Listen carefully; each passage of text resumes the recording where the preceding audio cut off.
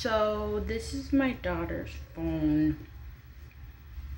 And she gave it to me so it wouldn't get taken away. And I found some stuff on this phone. Hmm. And um turns out she's got a boyfriend that flies around like a fairy. And from what I found on her phone, it sounds like they're getting their smush on like Jersey Shore style. She's like 13 years old almost. She's still 12. I don't disapprove as long as they use um, spermicide or something. I mean, I want to be a grandmother. I'm 35. It's kind of, you know, getting up there. I want to have my grandkids already.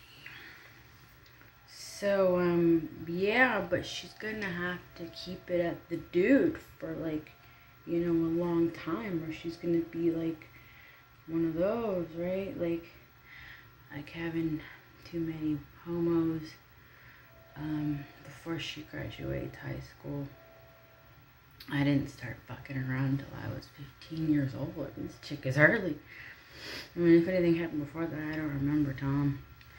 But, um, you know, yeah, just if you're gonna knock her up, it's gonna have to be at 15. Uh, traditional. You're gonna keep it right.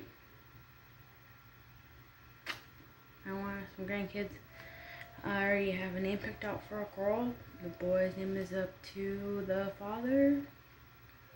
I've only seen him from behind. Um, but I like Adelaide Odette. So um, uh, that's if if they if they want to continue to see each other, then they're gonna have to. Um, they're gonna make a baby, and if it's a girl, then I approve, and I'll give him a trust fund. I don't know his name. Um, but only on the condition that they name their daughter Adelaide Odette. Last name unknown. And really just make sure he's not too hoe tricky. Cause um them hoes don't be going down once they find out that Snow White's got a boyfriend. So, you know, you don't want to get the herp and stuff like that. Um, we don't really believe in STD vaccines, or that just means you're a dirty Kenzie. So, and just tell them to kind of like, you know, uh, try to stay away from stinks, man. Maybe don't mess around with any baby prostitutes, or you're gonna give Snow White HPV.